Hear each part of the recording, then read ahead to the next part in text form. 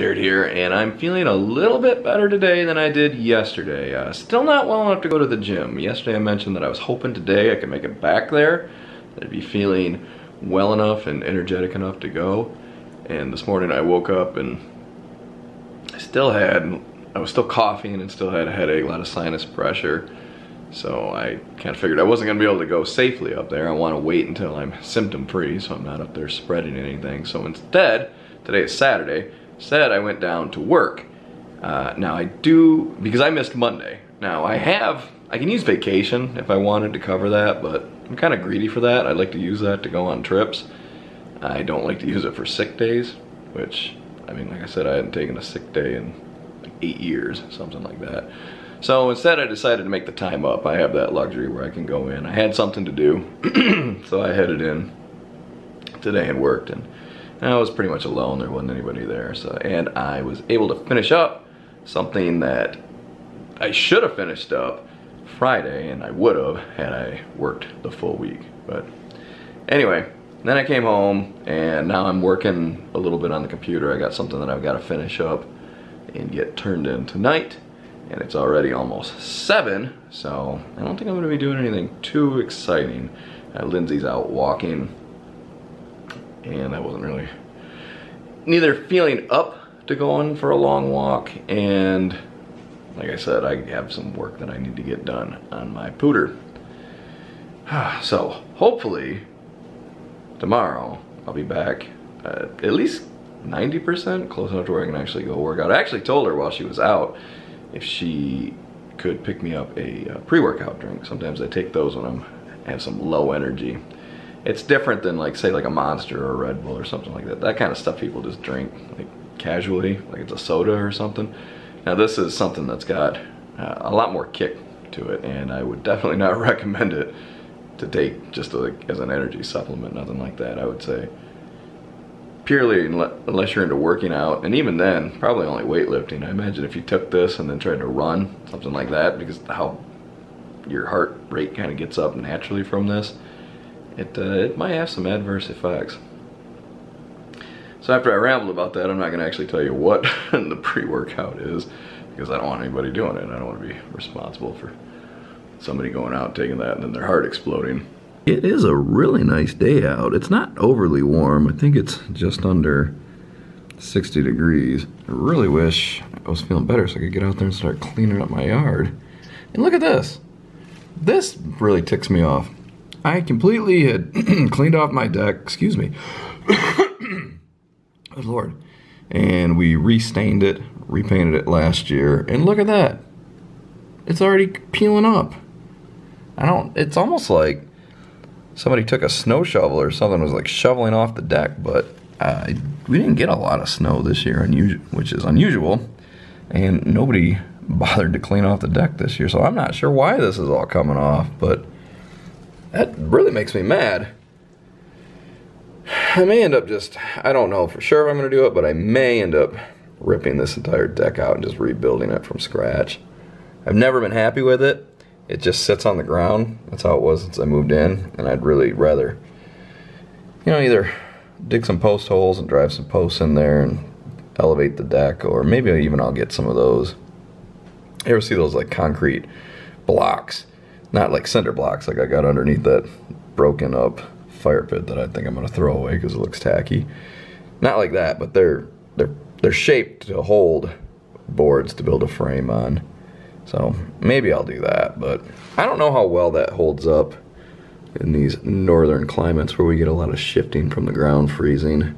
So I don't know, but I gotta get this thing rebuilt. Either this year or maybe I'll put it off one more year and do it next year. So I went back to the computer to finish up what I was working on and it was about 7 o'clock. And I thought I only had like a little bit more to go and it wouldn't take me long. It ended up taking me another two hours and now it's like quarter after 9. and it's getting late and it's getting tired, but I didn't want my entire day to be just go to work and then just work on what I was working on, on the computer and turn it in, which by the way, I don't know if you've ever had a situation where you've been working on something and then you kind of get tired of it and you know it's not completely done or it's not completely done right, but you just turn it in or hand it in anyway and say, I'm done with this. I don't even care at this point. You get what you get.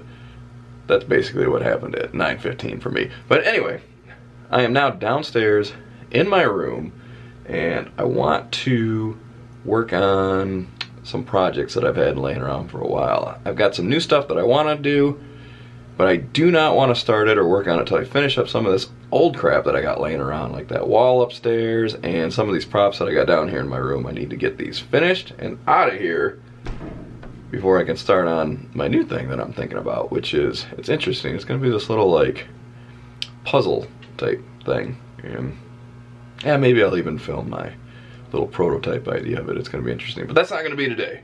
Today,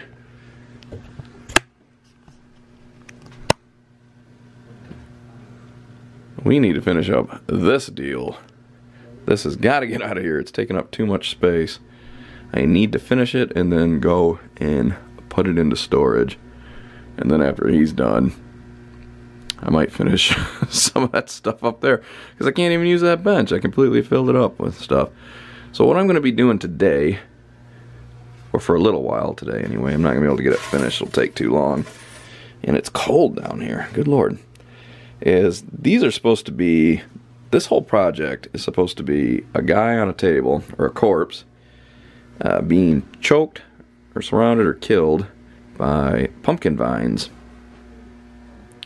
As you can see down there, I started trying to make like these little compartments have pumpkin guts and I put some pumpkins and I got some rotten pumpkins up there that are gonna go on here.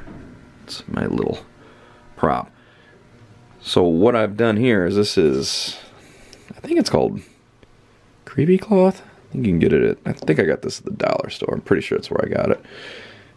Uh, but you could use cheesecloth. Essentially, this is what creepy cloth is. It's just cheesecloth with a different uh, hole density or just formed differently. Anyway, what I've done is I've cut it up and I've sort of made vines.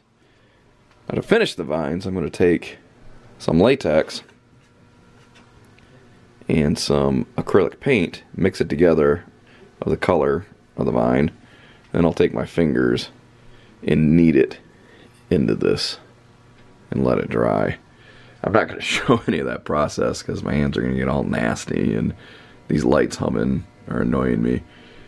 So I will just show, I guess what I'll do is I'll mix it up first, show you that, and then show you the progress I made. But I can tell you it'll turn out similar to this.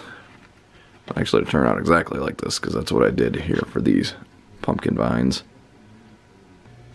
Because I highly doubt that I'm going to be able to get this all done in one evening, it's really important that when I'm mixing this up that I pay very careful attention to my portions that I'm using so I can make up a second batch later. The other thing to keep in mind when you're doing something like this is look at all that. That latex is white. So you have to go quite a few shades darker than what you intend the vine to look like in order to get the correct color.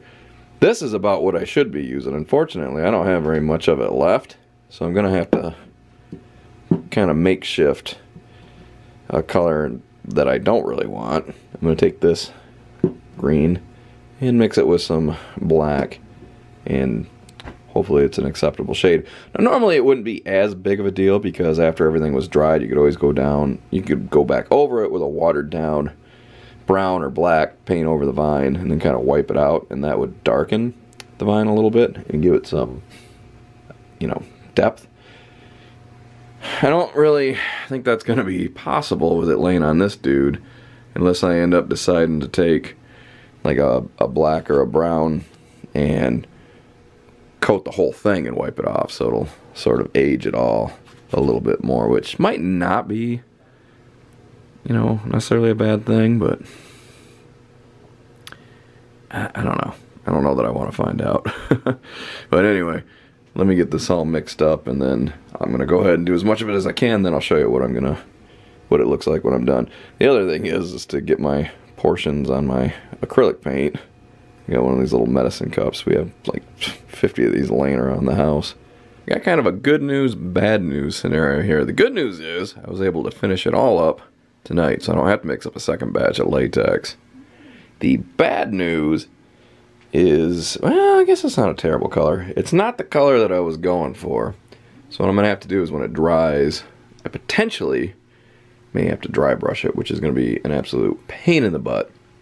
The other thing that I have that happened, which I knew would, because just to the nature of what I was going to have to do is pick this stuff up and rub it in, that I was going to get paint on him, and I'm going to have to go back through and touch that up as soon as this all dries. Uh, that shouldn't be a huge deal. And if I don't get it touched up completely, I've got a bunch of fake blood that's supposed to go on this guy anyway. It's like a real dark, glossy, very realistic looking blood. And then I put some, just some extra vines here on the table, which those will pop more tomorrow because this will dry and then the latex just kind of rolls right up and you'll be able to see the vine right there a lot better. But not bad. It's getting there. I think what I gotta do. Man, what is it with you guys? What are you doing? Get out of here. You're gonna fight. Go somewhere else. Angry cats. Well, it is going on 11 o'clock and I've got to pick uh, green latex out of my fingernails and out of my hand hair. So I think I'm gonna call it a night. Hopefully tomorrow I'm feeling completely better and I can go to the gym. I think I'm also gonna try to film tomorrow. Thinking about doing this little personal challenge, see if I can film every day for at least a week. I think I've tried that before and failed after a couple of days, but I think I think I'm gonna get it this time. This is like two, three days in a row, something like that. I don't know. But anyway, thanks for watching.